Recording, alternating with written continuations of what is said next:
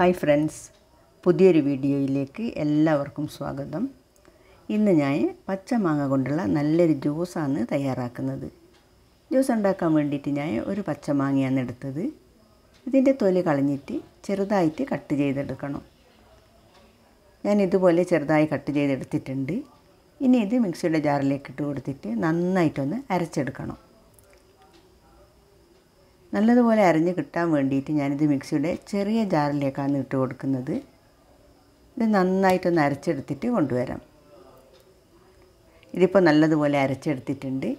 ഇനി ഇത് മിക്സിയുടെ വലിയ ജാറിലേക്ക് മാറ്റിയിട്ട് മധുരത്തിനാവശ്യമായിട്ടുള്ള പഞ്ചസാര ചേർത്ത് കൊടുക്കാം ഞാനിതിലേക്ക് അരക്കപ്പ് പഞ്ചസാര ചേർത്തിട്ടുണ്ട് നമ്മളെടുക്കുന്ന മാങ്ങയുടെ പുളിക്കനുസരിച്ചിട്ട് പഞ്ചസാര ചേർത്ത് കൊടുക്കാം ഇപ്പോൾ പൊതുവേ ചൂട് കാലമായതുകൊണ്ട് നമ്മൾ ഒരുപാട് ജ്യൂസൊക്കെ അടിച്ച് കുടിക്കുമല്ലോ അതുകൊണ്ട് തന്നെ പഞ്ചസാര കുറച്ച് മാത്രം ചേർത്തിട്ട് കഴിക്കുന്നതാണ് നല്ലത് ഒരുപാട് പഞ്ചസാര ഒരു ദിവസം കഴിക്കുന്നതും നമ്മുടെ ശരീരത്തിന് അത്ര നല്ലതല്ല ഇതിലേക്ക് ഒരു കപ്പ് നല്ല തണുത്ത വെള്ളം കൂടി ചേർത്ത് കൊടുക്കുന്നുണ്ട്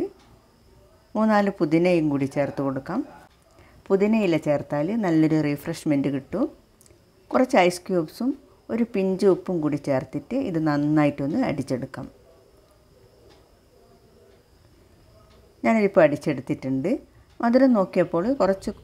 കുറവായതുകൊണ്ട് ഞാൻ രണ്ട് ടേബിൾ സ്പൂൺ പഞ്ചസാര കൂടി ചേർത്തിട്ട് ഒന്നുകൂടി അടിച്ചെടുക്കുകയാണ് ഇനി ഇത് അരിച്ചെടുത്തിട്ട് സെർവ് ചെയ്യാം അരിച്ചെടുത്ത ശേഷം നല്ല തിക്കായിട്ടാണെന്നുള്ളതെങ്കിൽ ആവശ്യത്തിന് തണുത്ത വെള്ളം ചേർത്തിട്ട് ഒന്ന് ലൂസാക്കിയെടുക്കാം ഇനി ഒരു ഗ്ലാസ്സിൽ കുറച്ച് ഐസ് ക്യൂബ്സ് ഇട്ടിട്ട് മുകളിലായിട്ട് ജ്യൂസ് ഒഴിച്ചിട്ട് നമുക്കിത് സെർവ് ചെയ്യാം ഒട്ടും പുളിയില്ലാത്ത നല്ല ടേസ്റ്റി ആയിട്ടുള്ള പച്ചമാങ്ങ കൊണ്ടുള്ള ജ്യൂസ് റെഡി ആയിട്ടുണ്ട് ഇന്നത്തെ റെസിപ്പി നിങ്ങൾക്ക് എല്ലാവർക്കും ഇഷ്ടമായെന്ന് കരുതുന്നു